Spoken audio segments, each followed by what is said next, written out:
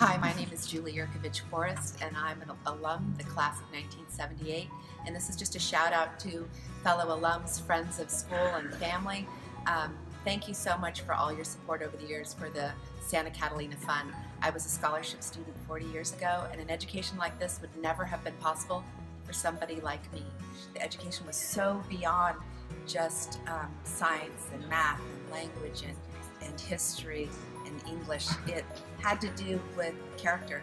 And I think that when we invest in our students, we don't just invest in them intellectually and academically, but we invest in the heart and the character. And that's the thing that then becomes the ripple in the world. So for all of you out there who want to support a student, who want to support someone here at school and programs, I hope today you take the chance to really think about it and join us as a donor. Thanks.